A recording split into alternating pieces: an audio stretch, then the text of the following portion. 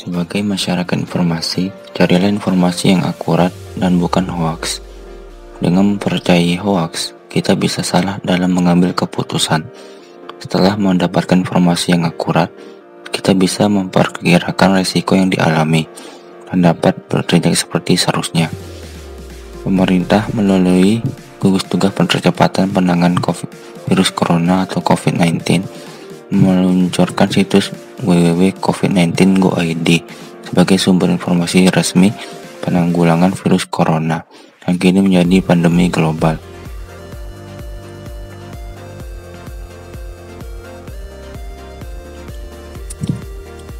Situs ini memuat pesan tentang tiga langkah penting untuk dilakukan masyarakat, yaitu cara mengurangi resiko penularan, cari informasi yang benar, dan apa yang perlu dilakukan bila sakit.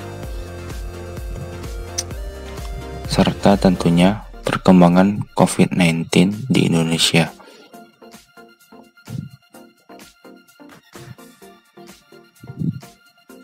Tersedia juga aplikasi khusus COVID-19 oleh gugus tugas yang dapat diunduh di Play Store dan App Store.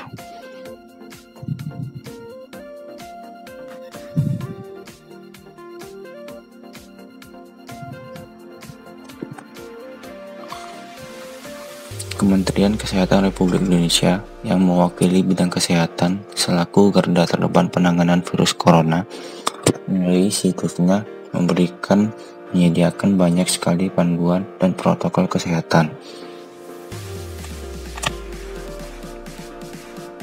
Seperti bagaimana mencuci tangan yang benar, cara memakai masker, dan etika ketika batuk dan bersin, serta banyak hal-hal lainnya.